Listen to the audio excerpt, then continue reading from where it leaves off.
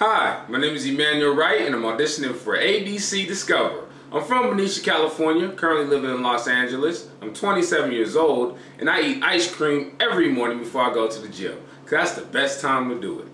Let's get into this audition. What do you think about this one? Let me share something with you that I've learned from three years of marriage. Ladies love flair. Really? Oh yeah! They want a ring that's gonna make a statement. Something like this. I don't know. That doesn't look like Rachel to me. My gut is saying something simple. Well, Gabby's gut told my gut to tell your gut to get a ring just like this. Okay, okay. I'm gonna trust you, man. I trust you too. That's why I put you in my emergency contact at the gyro. Yeah, I got that call the other day. Did your dizziness go away? Oh yeah!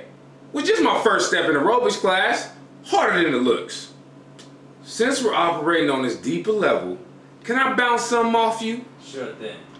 Gabby wants me to have a baby. Well, not me. She'd have it. Duh.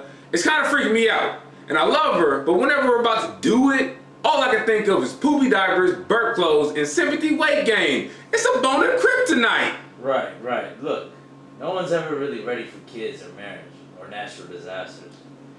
You just gotta let your life carry you to the well. It's up to you whether you sit from it or not.